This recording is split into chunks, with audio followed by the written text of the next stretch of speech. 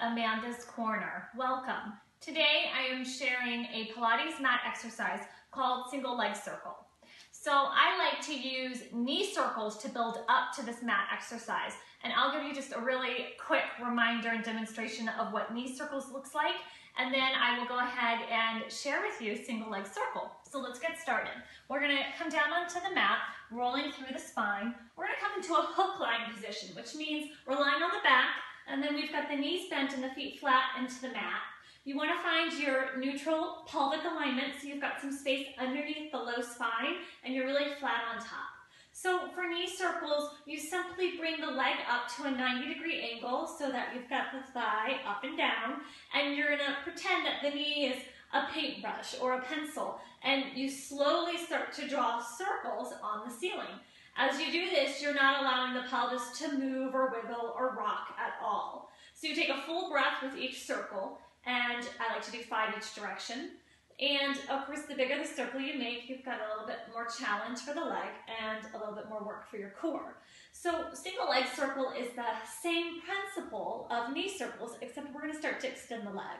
And, and it doesn't have to go to a full up position right away.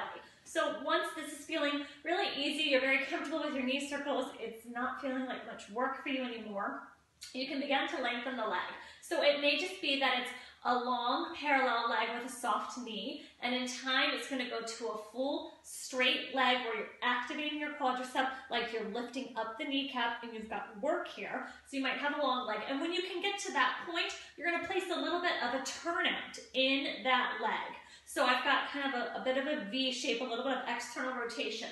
So this would be another place where you could start drawing your circles from. Now I'm reaching through the ball of the foot. You can also do this from a full point so that the toes become your paintbrush. So either the ball of the foot or the toes are drawing circles. Smaller the circle, the easier this will be.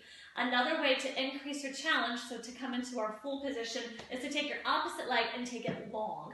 I like to slide it over so that it's in midline, in line with your nose and your pubic bone. So you it helps kind of ground you. You keep this leg active, you keep this leg active, a little bit of turnout, and then you begin crossing the body with an inhale, and you exhale to complete. So it's still the same idea that you've got your tummy drawn in, you've got your neutral posi position for your pelvis, and you're not wiggling and moving at all through the pelvis. So you try five one way, and then you reverse it.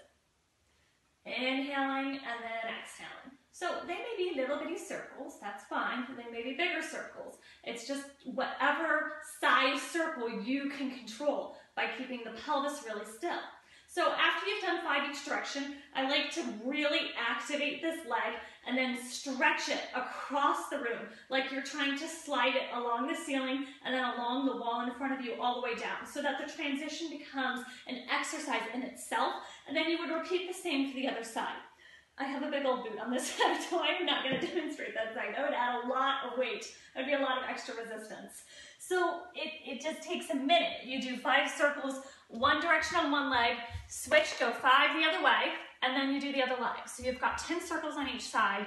Um, although it's quick, you're not trying to rush through the exercise. You just want to focus on keeping your core really still and stable. And uh, like I showed you, there's so many different levels along that that you can continue to grow with that exercise. You can start with a knee circle, then begin to lengthen the leg. First in parallel, once you get the leg nice and long and extended, then you add that turnout, and then you can also stretch the opposite leg down long against the ground. I can also kind of help counterbalance you and keep you grounded. You want to find a posture where you can keep that neutral, and then you want to stay really steady as you perform this exercise. So I, I like to teach the knee circles and the single leg circle as one of um, the beginning mat exercises. That's one of the first ones I like to introduce to clients.